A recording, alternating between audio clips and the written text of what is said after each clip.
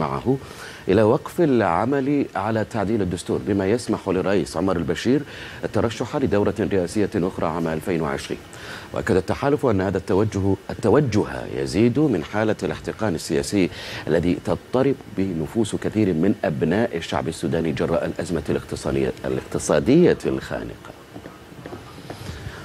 رابعة مستمرة فيها بعد الفاصل.